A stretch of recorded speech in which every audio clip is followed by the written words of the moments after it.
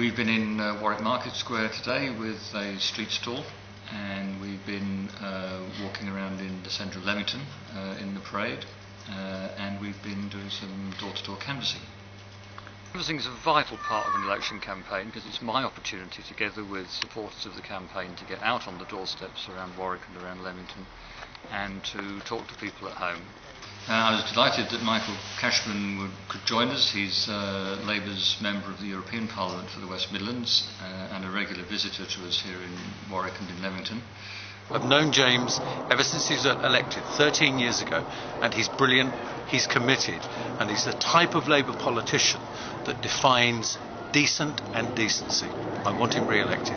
Today I talked quite a bit about the future of the Child Trust Fund, uh, which many parents are pleased to have, and they've picked up that other parties are not uh, going to maintain the Child Trust Fund and are concerned about that, and inevitably it's a topic of debate. A lot of the people working with us on the campaign this year are uh, under the age of 25. I'm actually finding that there's more enthusiasm uh, amongst young people uh, on the campaign than we've experienced before, and no reason to believe what some people say to us that young people are apathetic.